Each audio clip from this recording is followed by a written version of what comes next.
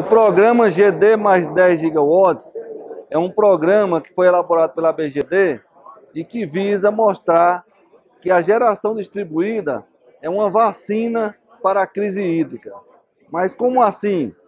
Cada quilowatt-hora gerado pelo próprio consumidor é um quilowatt-hora a menos que precisaria ser extraído dos lagos das hidrelétricas. Então a BGD elaborou um programa basicamente com cinco propostas sendo a primeira delas a aprovação do PL 5829. É importante a aprovação do PL 5829 para dar segurança jurídica que o setor precisa para investir, continuar investindo, intensificar os investimentos em geração distribuída.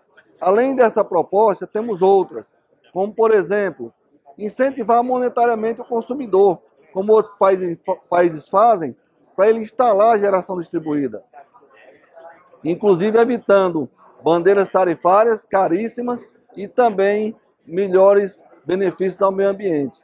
Uma outra proposta é instalar painéis solares fotovoltaicos nos lagos das hidrelétricas. São chamados painéis solares flutuantes. Outra medida proposta é aproveitar os resíduos sólidos para gerar energia, que daria também mais capacidade instalada, mais potência instalada de geração distribuída. Além disso, é, também se visa que possamos aproveitar melhor os subsídios que hoje são praticados para o consumidor de baixa renda, para o consumidor rural, para o consumidor da região norte do país, que ele possa aproveitar de forma é, voluntária esses subsídios para instalar painéis solares fotovoltaicos e gerar sua própria energia.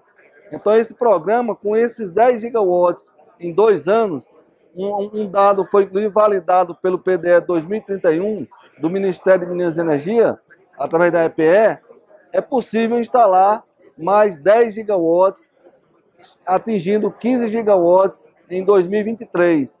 Com isso, estaremos contribuindo nos atuais níveis dos reservatórios das hidrelétricas com cerca de 20% do, do atual nível dos reservatórios.